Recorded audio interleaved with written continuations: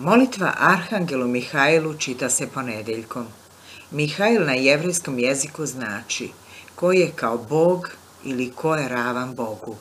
Sveti Mihajl izobražava se još od prvih vremena hrišćanskih kao vojvoda koji u desnoj ruci drži koplje kojim popire Lucifera, satanu, a u levoj palmu zelenu grančicu. Na vrh koplja ima platnenu pantljiku sa crvenim krstom. Arhangel Mihajl smatra se naročito čuvarem vere pravoslavne i borcem protiv jeresi verskih. Molitva svetom Arhangelu Mihajlu. Sveti Arhangele Mihajlo, odagnaj od mene duha lukavog koji me iskušava.